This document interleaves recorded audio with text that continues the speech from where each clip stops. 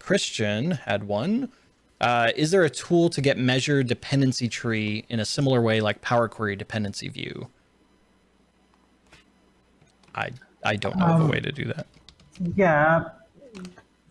Um, if the question, okay, so there are different ways to obtain that. First of all, there is a tool created by Reza, uh, Rad, which uh, actually has a feature to do this. Uh, I have seen other tools doing that, one from Inke, um, I don't remember the last name, but uh, if you can uh, switch to my machine, I can show a, a, feature in DAX Studio that actually does something similar.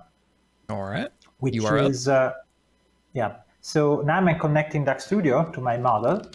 And uh, when I go here and I select, uh, for example, a measure like a margin here, you see that I can see this uh, show objects that reference measure, which uh, is a dynamic management view that provides the dependencies within uh, this uh, model. Okay, so you not only see other measures. So in this case, margin is not referenced uh, direct. Okay, actually, it is referenced here by a measure in a calculation item, and it is referenced here in this partition. If I go, for example, to uh, let me see, total cost. Here we go, and I show the same thing. You see that total cost is used in margin, is used in a calculation item metric, and is used also in this partition. Now, this is not exactly what you probably asked. So if you want to see the chain of dependencies uh, of measures, that's another, another view that uh, does this.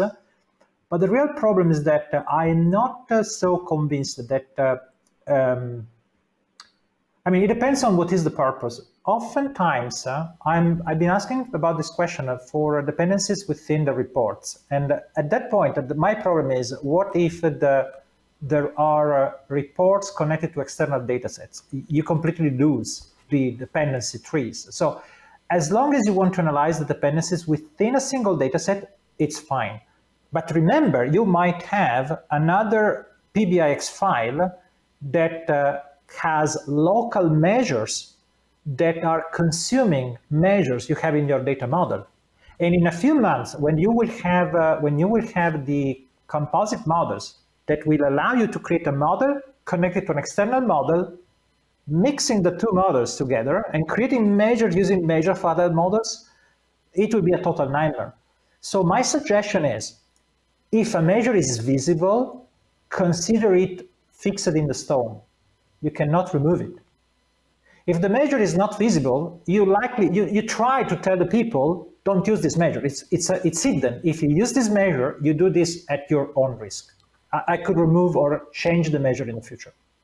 That is what it makes sense uh, in terms of uh, measure consumption dependency analysis.